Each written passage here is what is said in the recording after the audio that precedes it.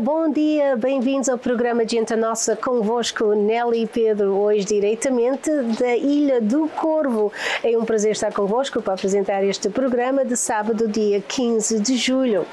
Muito obrigada pela sua companhia. Hoje no nosso programa vamos apresentar mais um segmento de Gente Memória, as últimas imagens de rabo de peixe das festas do Espírito Santo, uma conversa sobre o convívio de Vila Franca do Campo e ainda temos excelentes bons conselhos dos nossos nossos patrocinadores.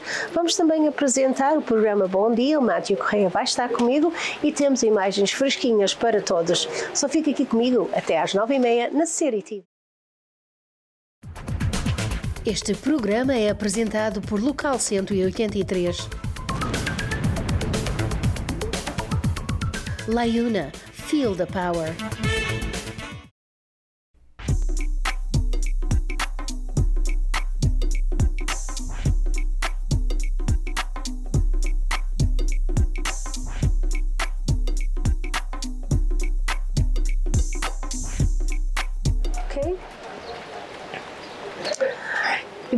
Mais uma vez a todos os telespectadores que me fazem companhia. Um prazer estar convosco diretamente pela primeira vez da Ilha do Corvo. Primeira vez a gravar este programa daqui do Corvo, aliás, desde ser a minha 15 vez a visitar esta ilha. A primeira para o Matthew, ele está aqui comigo, é ele que hoje está a ser de videographer. Vamos iniciar o programa Gente Nossa de hoje apresentando mais um segmento de Gente Memória. E o Gente Memória de hoje é de 1994, com a Idalina da Silva, numa conversa com o Monsenhor Rezendes, quando estavam a planear fazer a Igreja do Cristo Rei. Gente Memória.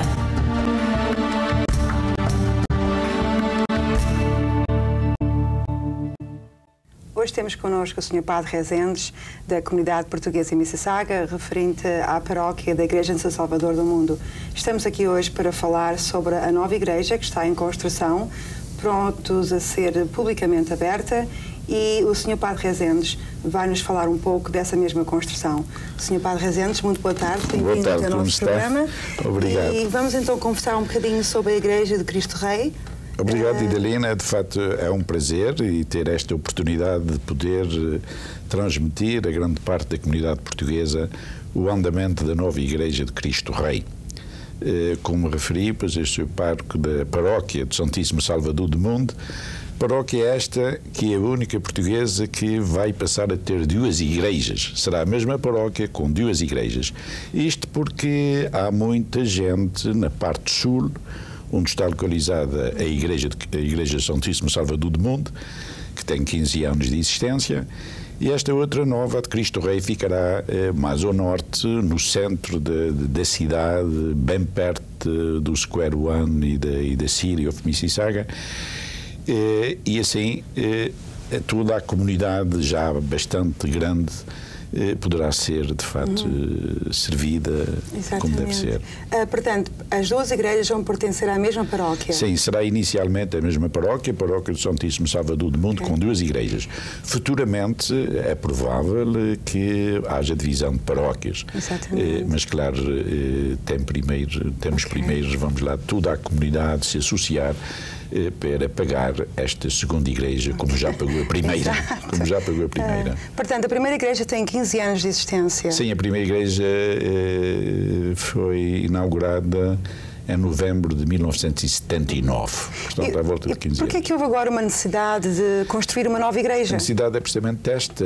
Quer dizer, nessa altura, Mississauga, quando eu para lá fui, em 1975, Mississauga teria talvez 4 ou 5 mil portugueses.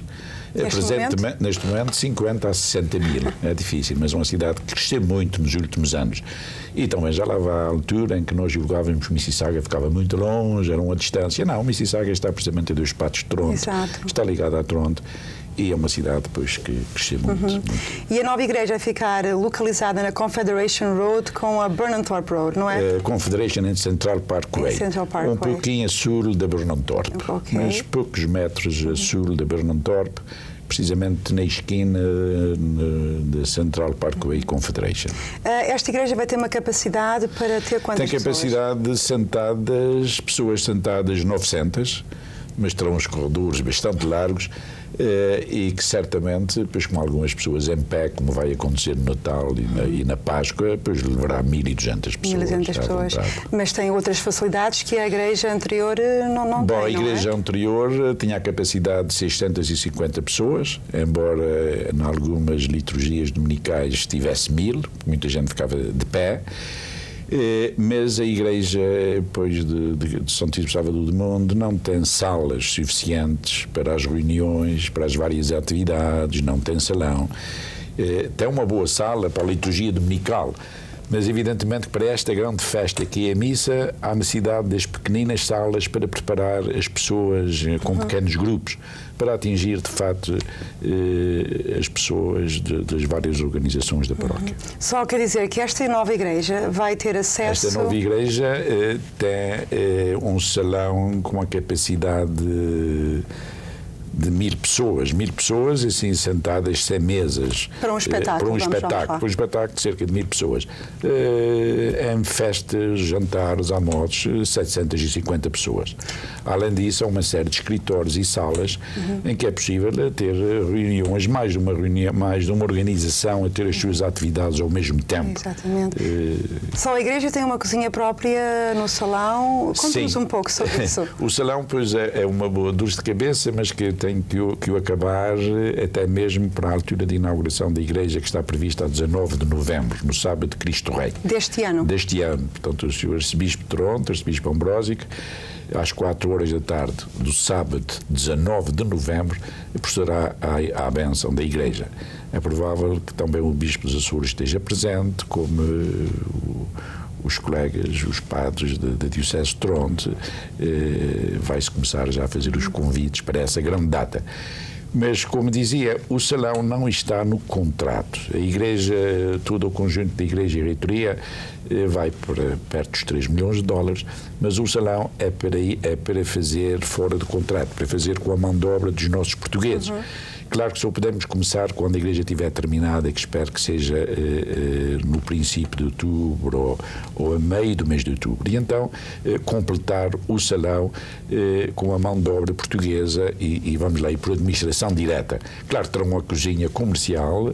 eh, e, e tudo isto, depois o acabar do salão eh, acarreterá uma boa despesa. Só Está a dizer- chegar de Portugal, desculpe, chegar de Portugal, pois eh, uma encomenda de azulejos feitos na, na fábrica Viúva Lamego, azulejos eh, que nos fazem lembrar, eh, vamos lá, os azulejos do século XVII Uhum. eh, e, e- e bem a nossa cultura portuguesa. Portanto, com desenhos da época, não é? Século época. XVI. Talvez mais 16 e 15. ah, dedicado aos descobrimentos, Descobrimentos coisas do e- género. exato, exato. Só o que nos está a dizer é que o projeto ah, do salão é um projeto à parte da construção da própria igreja. Exato, quer dizer, o salão, pois, evidentemente que está aberto, mas tem que ser eh, todo o acabamento do salão eh, é à parte do, do, do, do contrator da igreja. Porque falou ser anteriormente em cerca de 3 milhões de dólares, mais ou menos. Sim, é mais ou menos total? 3 milhões. Aliás, em números certos, o contrator, o contrato foram 2 milhões e 540 mil. Mas há sempre os extras, 2 milhões e 540 mil, mas isto não inclui eh, altar, nem sacrários, nem via sacra, nem as imagens. Eh, Inclui a bancada, inclui a igreja completa, mas não com, com todos os, os pormenores Yeah. que virão mais tarde. Com os pormenores todos, depois irá para 3 milhões.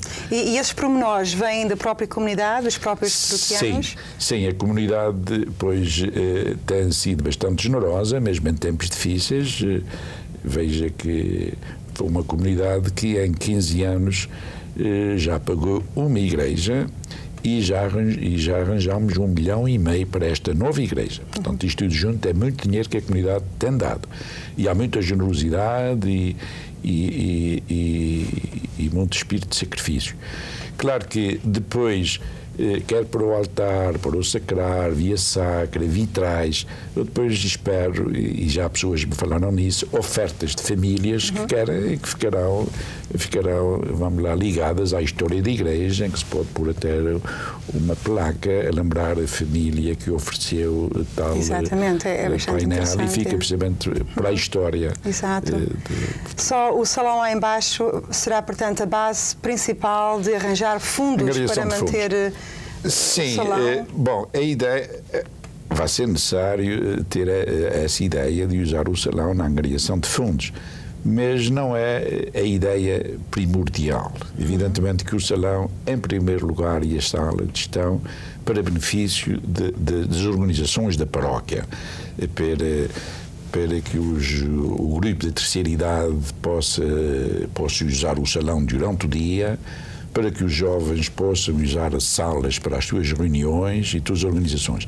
Claro que eh, fora disso depois haverá festas, almoços, haverá eh, alugas para casamentos, para tudo, porque evidentemente será uma fonte de receita. E já tem alguns contratos feitos para futuros Muitos, casamentos? até demais, até, até antecipei-me com alguns contratos, embora sempre dizendo que não era, que não podia garantir, uhum. mas já tinha uma série de casamentos, alguns até para o fim de setembro. Deste ano? Deste ano e muitos para outubro. Claro que quando eu disse às pessoas, eu fui dizendo, espero que sim, mas, mas a certeza, a certeza é quando estiver uhum. pronto. Felizmente temos a opção desses casamentos marcados poderem celebrar o, o seu casamento na igreja São Tito Sábado do Mundo, senão seria Exatamente. um problema. Mas já tinham convites feitos, um certo. Uhum. Mas de facto, para o ano de 1995 já há uma série de festas projetadas e, e arrendamentos. Isso é muitíssimo bom, mostra de que realmente a comunidade que está a, comunidade a aderir está, facto, à nova sim, sem dúvida, igreja. está interessada e, é claro, há sempre necessidade, como sabes, ou como sabem os nossos. Uh, Telespectadores. Telespectadores, ia dizer os nossos ouvintes, são ouvintes, ouvintes, mas telespectadores sabem que, de facto, eh, os portugueses pois, gostam de se reunir, ter as suas festas, sobretudo, evidentemente, por ocasião de casamentos, bodas matrimoniais, uhum. bodas de prata, bodas de ouro, eh, e mesmo eh, batizados e primeiras comunhões. E, e, e, estão muito mais à vontade numa coisa nossa, portuguesa, o que até contribuíram, sentem-se em sua uhum, casa uhum. melhor do que, evidentemente, no Exato. Uh, portanto, é uma igreja moderna, com todas as facilidades para uh, a vida social de hoje. Tem também facilidades para pessoas deficientes? Tem, tem sim. Eh, tem, a igreja tem elevador e tem acesso, evidentemente, às pessoas, aos deficientes. E, além disso, pois a construção pois é moderna, mas vamos lá, de uma maneira geral, as pessoas que têm passado pela igreja, quer exteriormente, quer algumas no interior, estão de facto extremamente impressionadas e satisfeitas com todo o projeto. Uhum. Claro que haverá sempre deficiências, algumas foram originais, foram eh, foram devido à, à, exiguidade do terreno, ao espaço, portanto, eh, há pena não haver, pois, eh, outra estrutura exterior e mesmo mais estacionamento, mas foi as limitações eh, do terreno. Mas, de uma maneira geral, eh, está muitíssimo bem. E o arquiteto português, José Miguel Pereira, que já tinha feito a primeira igreja na Senhora de Fátima em Brampton, está, de facto, parabéns por, pela pela, pela concepção e pela ideia de todo o projeto. Um, Diga-me uma coisa, eu tenho ouvido dizer de que o, o senhor Padre Rezendes, em Mississauga, que é de uma, de uma grande simpatia, de que a comunidade adere imenso aos seus apelos, do que se deve esse fator dessa grande popularidade que tem? as pessoas são boas, as pessoas são extremamente boas. Eh, a nossa gente é muito boa e não sou nada especial. Procure, procure evidentemente, eh, dar mais pessoas, lidar com as pessoas, mas nada de especial. Tenho, de facto, as minhas limitações, os meus defeitos, mas tenho uma coisa eh, em que, na realidade, eh, quero ser sempre fiel. O padre deve viver com as pessoas, é para as pessoas. E as pessoas, evidentemente, notando isso, depois também se dão ao padre. Quer dizer, é como diz o nosso povo: o povo faz o padre, o padre faz o povo. Gente, memória.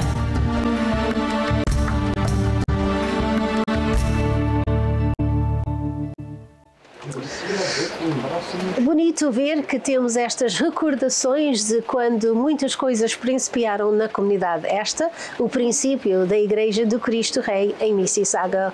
Conversa da Idalina e Monsenhor Rezendes. Agora temos os primeiros bons conselhos e logo a seguir uma conversa que eu tive em estúdio com o Nuno sobre o convívio dos amigos ou dos fran vilhafranquenses que vai ter lugar em breve na cidade de Toronto.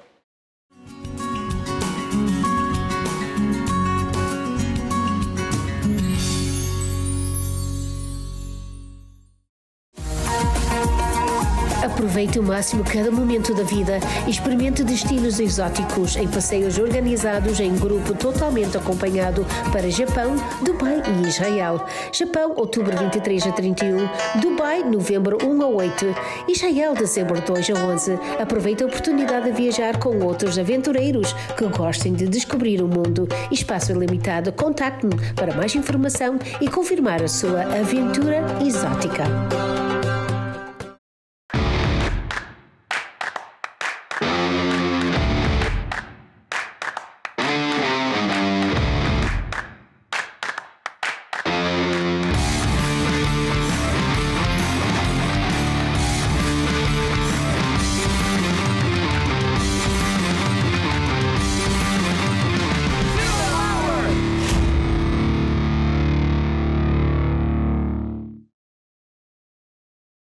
Já estou a servir a comunidade portuguesa há mais de 50 anos em todo o aspecto de seguros. Para seguro de carro, casa ou comercial, confia em Vieira and Associates. Agora em nova morada e com estacionamento gratuito na 55 Warner Avenue em Etobicoke, entre Kipling e Islington. Esperamos por si. Temos a nossa companhia preparada para servir no futuro.